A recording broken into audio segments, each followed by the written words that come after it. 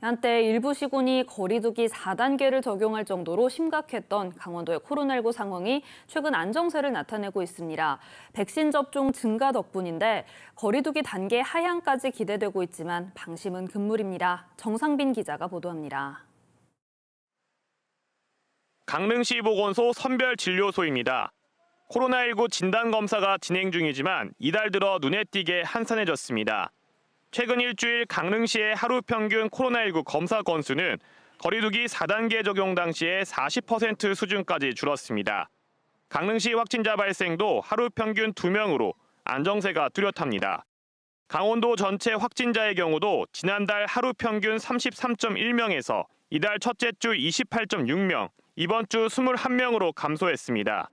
지난달 초 40%에서 한 달여 만에 65.5%까지 높아진 강원도민 백신 접종 완료율이 확진자 감소의 원인으로 분석됩니다. 강원도는 다음 달 10일쯤 접종 완료 비율이 80%를 넘길 것으로 예상했습니다.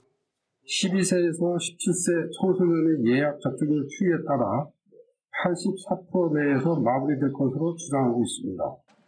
동해시가 최근 거리두기를 2단계로 하향하는 등 일상 회복에 대한 기대감도 커지고 있습니다. 많은 사람들이 힘들잖아요.